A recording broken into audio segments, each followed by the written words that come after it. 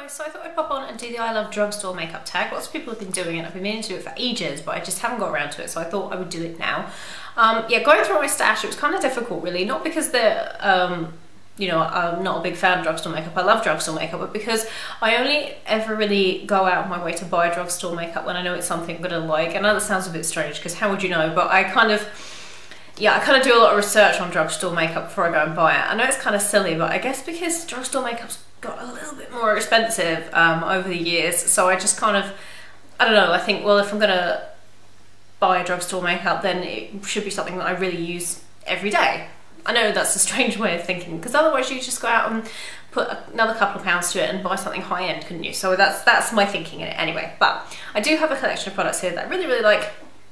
So um, yeah, the first question is favourite drugstore makeup brand. Um, this is a difficult one.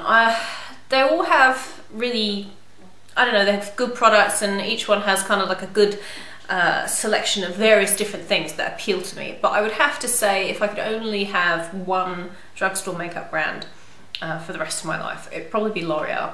I like their eyeshadows, I love their lipsticks, I like their mascaras, um, I like their nail polishes, um, I love their foundations, so yeah, probably L'Oreal.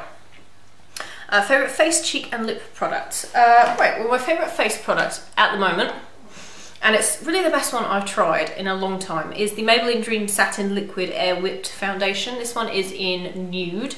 Um, I really, really, really like this. It looks like a very dark colour actually, but when you put it on, I don't know, it just kind of evens out and it looks really nice. I love this. Um, this is I bought this when it, the uh, offer was on where you could get two things from Maybelline for £10, which is a fantastic offer. So I bought it then and I thought, well, I don't know whether I'll like it or not, but you know, £5 for a foundation, who can argue? And I absolutely love it. Um, I prefer this over the other one that I picked up at the same time, which is the 24-hour uh, Superstay. Just because I think this has, I don't know, this is just a little bit sort of lighter and uh, uh, I don't know, it's just sort of less mask looking, but they're very, very similar. And strangely enough, I do think this lasts a little bit longer than the 24 hour superstay, so that's, that's odd. But I really do like this. So This has become a, a firm favourite uh, in terms of foundations, not just drugstore, but just in terms of foundations. Um, another favourite face product, which I really couldn't live without, is the Rimmel Stay Matte Pressed Powder and need new one. This one is in the shade Transparent 001 and I really really really like this. Um, I did some research on it just because somebody mentioned it and they said that it looks fantastic on all skin tones uh, whether you're really really dark, really really fair transparent looks fantastic on everyone. It doesn't leave a white cast, it doesn't leave any colour, but it does mattify, and that's really what I wanted. And I have so much trouble with powders because I find that they, when I put them on, they look fine, and then they kind of oxidise and they go orange on me, and it just it just ruins the whole look. So I wanted something that was just mattifying. I don't need a colour from my powder, and this does the job. I have repurchased this five times. I, I love it, but you, you it lasts for so long because you get 14 grams of product, which is huge amount. So I would definitely recommend transparent. They do other colours. They all kind of pretty much look the same, but I don't know what they look like when they're on, so I definitely recommend this one. I wasn't going to mention this because you can't actually get it in like a Boots or a Superdrug, but you can get it online. You can get it on eBay. Lots of people sell it. I think everyone's always going to sell this because it's really popular. And it's the NYC Smooth Skin Bronzing Face Powder in Sunny. And um, this is fab. I have this on today as my contour. It's just gorgeous. And I put off buying it for so long because everybody said they really liked it. And I just, I don't know, I'm a bit like that. I just thought, oh, I don't know. But then I thought, well, you know what? Was, this was like 270 So I thought, well, I'll give it a try. And I really, really, really like it. So yeah, um, this is, you can get this on eBay, and as I said, it's really cheap. These I love, you can get these at Superdrug, they're the accessorized makeup brand. I think these are really kind of like the closest thing we have to like mineralized blushes on the high street. So this blush is absolutely fantastic. I really like it. As I said, perfect for this time of year. It's, it's really, really pigmented, gorgeous, and you don't need a highlighter with it. So um, I really like these blushes for drugstore makeup.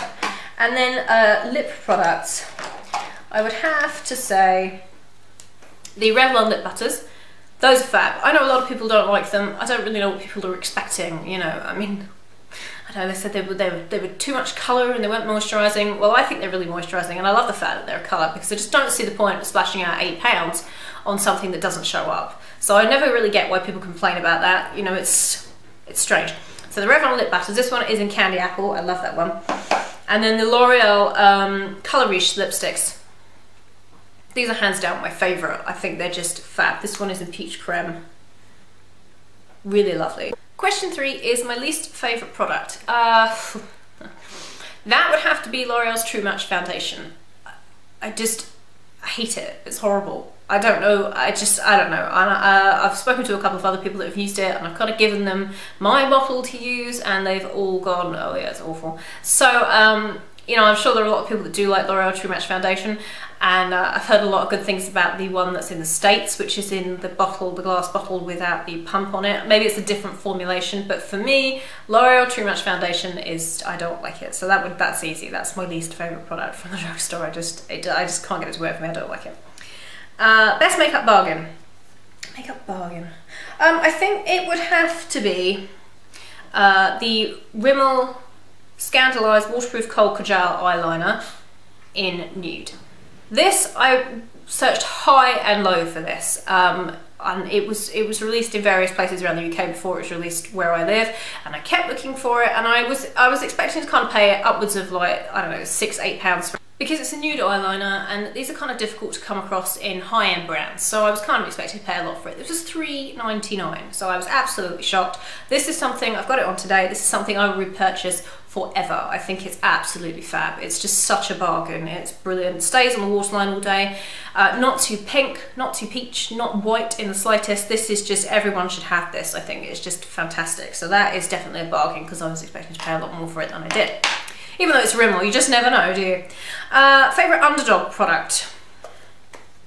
Favourite underdog product? Well, I think I'm probably going to go back to the Rimmel Stay Matte because there are so many expensive powders from the drugstore.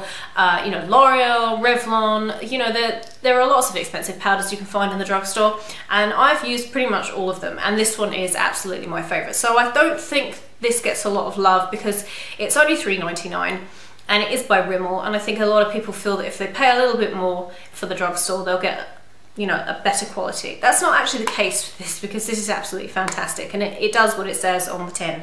Uh, it says up to five hours natural shine control with natural mineral, minerals helps minimize the appearance of pores. It, it just does what it says and you know, why pay nine pounds for a powder if you can just spend three ninety nine and it lasts you ages. So I think that's probably my favorite underdog product because it's probably something I would always recommend to somebody and you know, they, they wouldn't have thought about it before because it's cheap. So that's probably my favourite underdog product. Um, something that often gets overlooked. Well, I just kind of covered that. But I will say that I feel something that does get overlooked is the L'Oreal lipsticks, the Colour Riche lipsticks. Um, I haven't tried the ones with the serum in them. I have swatched them, I don't like them that as much. But the, the Colour Riche lipsticks, I think people kind of look at these and think they're a bit old fashioned. I think they're really classy and classic. I don't think you can go wrong. The packaging's gorgeous. And the shades are so versatile. You, you have your brights. They released um, the really, really bright ones uh, the beginning of the year. And, you know, those are beautiful as well, but they're really pigmented and they're just, I don't know, they're just really luxurious. I love the smell of them. They smell like Parma Violets. I know a lot of people don't like that, but I do. And if you just want a nice slick of, of kind of like a tint, um, these are really, really good. But as I said, you can get lips, the the lipsticks from Colour Riche range that are really bright and really vibrant. But you know, these are just a fail-safe for me. I would always recommend these to people looking for a lipstick that was kind of not too in your face, but really natural and flattering and, and is kind of works with your natural colouring. I would just recommend these over anything else in the drugstore. Um, so I think these often get overlooked because people, I think, think they're a bit old-fashioned, but you know, I, I love them. I think they're great. Product that is overpriced. Hmm. Um, I think a large majority of the products from Max Factor are overpriced. I know that they are touted as the makeup of makeup artists, but I just think they really need a brand overhaul. Um, at least, you know, to kind of get me to look at them and think, oh, that's good. Uh, I just don't think their products are, the, I don't know, I just they just don't appeal to me really. So I think a lot of their things are overpriced. Um, yeah, and I they just they just don't appeal to me to be honest. So yeah, drugstore dupes, the best ones. Um, well. I would have to go back once again um, to the Rimmel Scandaleyes. I've been told this is a dupe for the MAC Chromographic pencils Everybody thinks so. Any blog you look up, any review of it, any any any video of it, people will sing the praises of it because it is just a fantastic pencil for the price. And yeah, uh, you know, uh, most people have said they prefer this over the matte chromographic pencil. So I think that's absolutely, I, I would say that that's probably the best dupe I can come up with. Also, um, this is a kind of a non-specific dupe, but still, the NYX HD Photogenic Concealer, I know you can't get this in the drugstore, but it's only a fiver and you can get it online, so it's kind of staying within the same price. Um, this is very, very similar to a lot of higher end concealers. This is under eye concealer. I've got it on today. It's hugely brightening. It kind of gives that really nice ethereal kind of highlighted under eye look. Um, you know, I've read a lot of reviews on this and they've said that a lot of people have said they prefer this to much higher end ones, especially ones from MAC and things like that. But I just think for a fiver, if somebody did a blind test on me, I would have said this product was like twice as much, uh, probably even more. So um, I just think this is a really good little concealer. And if you're kind of, they do lots of different colors, but if you're kind of into that really bright under eye look, the one that I have is Fair. So I'd recommend that, um, especially if you're really pale, but if you really like bright under eyes, this is a really good one. It's only a fiver. And the last question, product that isn't worth the hype. Uh, this is pretty much easy for me. It's Maybelline's Great Lash Mascara. The one in the pink and the green tube, been around forever. Everyone raves about it. I don't like it. I just think it just doesn't do anything for my lashes and I have very long lashes and they are quite dark. So I just kind of think, well, if it can't do anything with my lashes, what, what does it do with, with people that kind of struggle with their mascaras? I just don't like it. I just think it's totally overhyped. Um, I don't get it. So yeah, that, that's pretty easy. So I hope you enjoyed that guys. That was, uh, yeah, that was the kind of fun to do. So if you've done one, video like this, um, of this tag, then link it to, down below in a video response and I'll approve that. I'd love to see that. Or just leave me a list, um, you know, I'll post the questions down below and uh, just tell me what your favorite drugstore products are at the moment. So uh, yeah, I hope you're having a wonderful day guys and I'll see you all very, very soon. Bye everyone.